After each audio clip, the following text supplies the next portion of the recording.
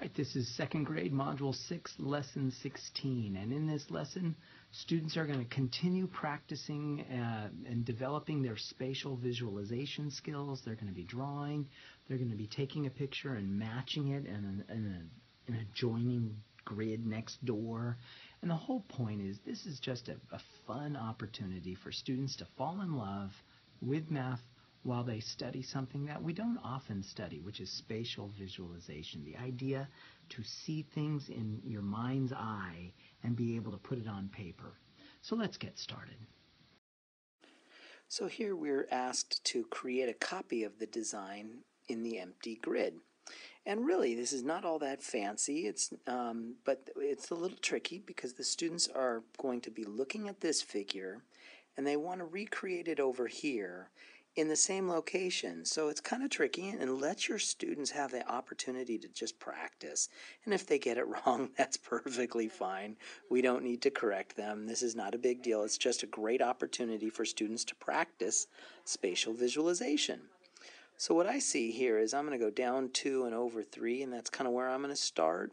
Or I could go over 3 and down 2, you know, it's however I want to think about it.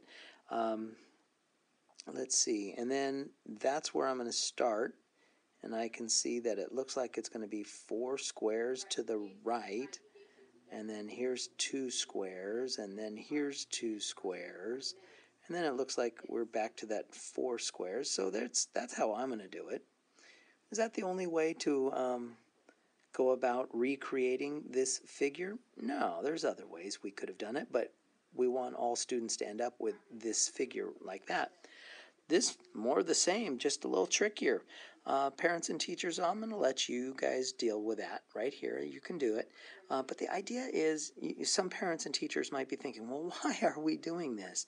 And the idea is we really want to help students develop that spatial visualization, the, the, the ability to look at an object and see it in your mind's eye over here.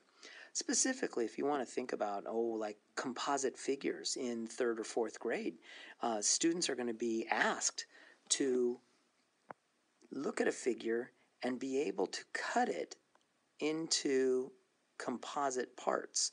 So, what I mean by that is, in this case, I might cut it into three rectangles. One rectangle is one row of four, that's right here. Another rectangle might be two rows of two, so that's actually a square. And then another rectangle, one row of four. So composite figures is something that our students are going to be doing in third grade. So this lesson begins that process of helping students develop spatial visualization. So here students are being asked to use two colored pencils to create a design that we're then going to just kind of recreate over and over and over over here, right? And we're going to tessellate it. A tessellation is a shape that repeats over and over, leaving no gaps and has no overlaps. So we're going to create a design, and it this is just an opportunity for your students to just go wild and let them really get crazy as they think about what should their design look like. And I don't know, I'm just kind of creating one right here. Let's see. Oh, I'll do a red and a, oh, let's do a red and a red. Oh, you know what? Let's do, and then a red and a red here. There we go. So there is a really cool figure. All right. Now the idea is we're supposed to have it uh, tessellate. And so what that means is um, we're going to, we want, let's see, I want another pen. Yeah, there you go. And so we want it to tessellate right here, right here, and then repeat it right here, and then repeat it right here, and then repeat it right here. So we want it to repeat all the way across.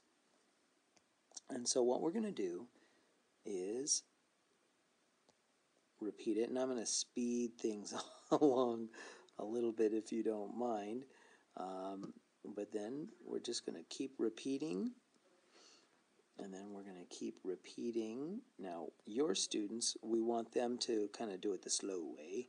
because we want them to actually do, enjoy the drawing and have fun with the drawing. And there we go.